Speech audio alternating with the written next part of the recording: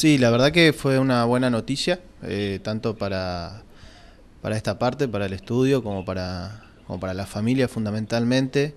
Eh, sí, como lo dijiste, fue un caso aberrante, con características este, graves en cuanto a que han participado jóvenes y la víctima era aún más joven todavía.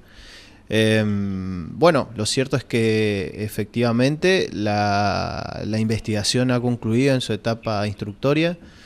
El juzgado de instrucción número uno, a cargo del doctor Saldaña, ha decidido elevar la causa a juicio a partir del requerimiento de elevación a juicio eh, solicitado por, eh, por, la fiscal, eh, avalado también por esta parte.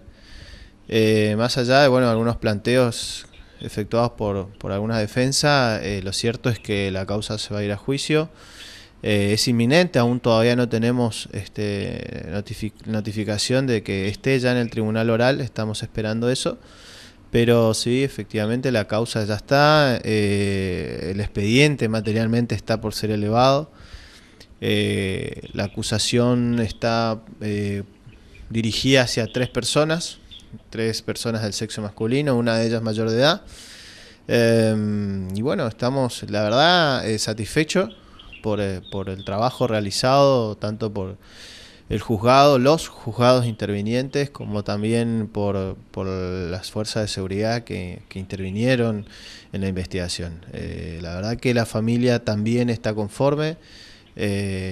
por, siente un poco de alivio en el sentido de que sabemos que hay muchos casos que han quedado hasta ahora inconclusos, casos graves, y la verdad que eh, ver que, este, caso en particular ha avanzado y se han encontrado, eh, al menos en principio, personas responsables, es bueno, es bueno, da confianza a la familia, a la sociedad, de que, eh, bueno, se trabaja.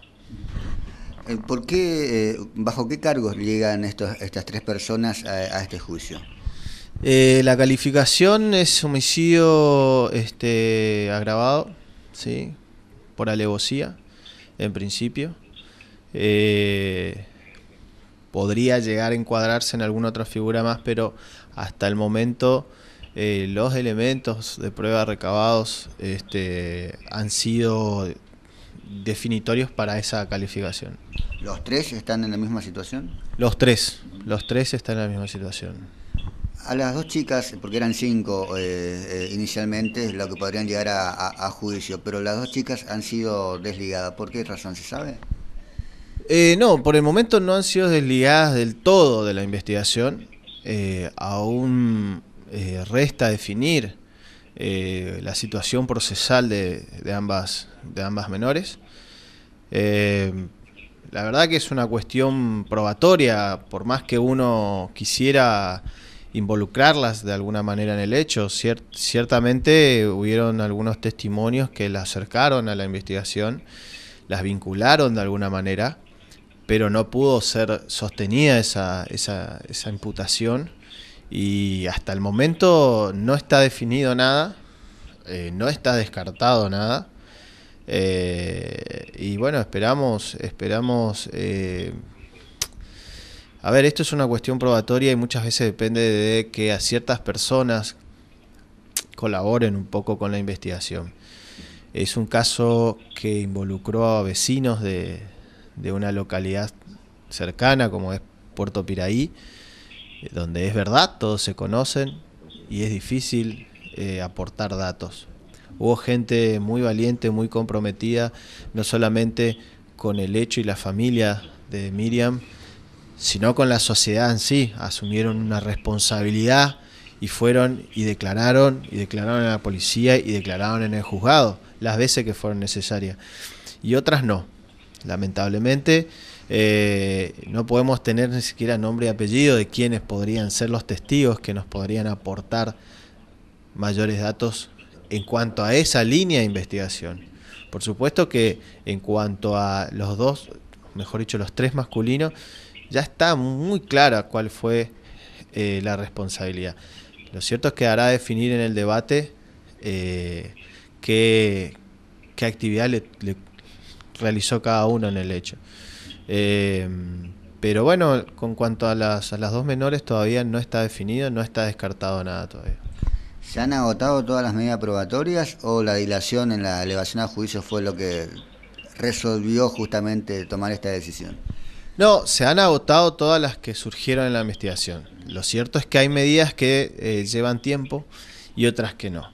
Eh, la realidad es que con los recursos que en los que se cuenta, a veces se necesita de la colaboración de otros, de otras jurisdicciones, eh, particularmente Buenos Aires.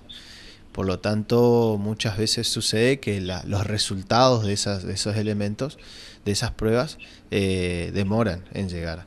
Eh, otras se reiteraron, otras se ampliaron para contar con un mejor marco probatorio eh, a los fines de llegar bien también al debate, porque la realidad es que esos elementos serán fundamentales en el juicio.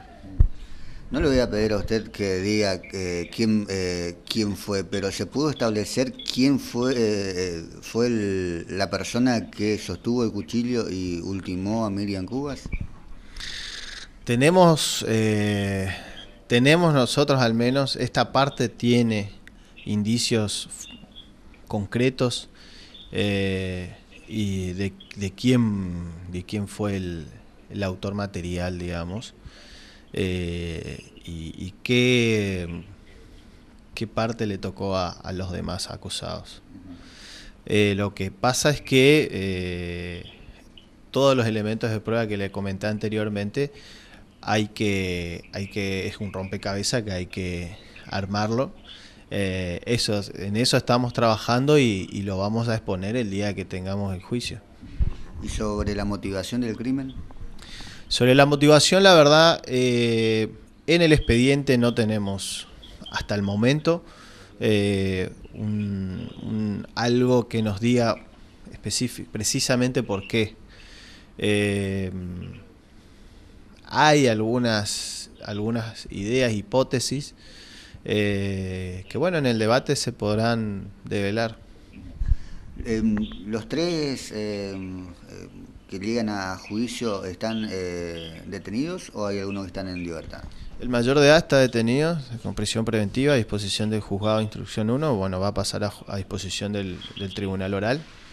Eh, uno de los menores está bajo custodia de sus padres y otro, bueno, eh, aún todavía bajo las disposiciones que, que en su momento la jueza de menores había resuelto, es decir, eh, bajo un tratamiento.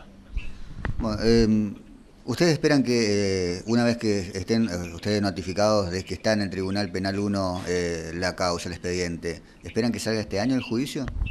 La verdad que sí, esperamos que sí. Pero lo cierto es que es un juicio, un juicio que va a llevar un tiempo. Hay muchas, muchas pruebas. Es un expediente bastante voluminoso eh, hay muchos testigos también, hay que ver qué es lo que propone cada una de las partes. Eh, dependemos también del tribunal oral a ver cuándo, cuándo decide eh, poner fecha y cuándo sería esa fecha de inicio. hay que ver cuál es el calendario, vamos a decir así, del tribunal que maneja el tribunal. Esperemos que sea antes de fin de año. y si no, bueno, el año que viene, pero ya tal vez por ahí este, bien preparados ya y al inicio de, de cuando se reanude digamos, la actividad judicial después de la feria.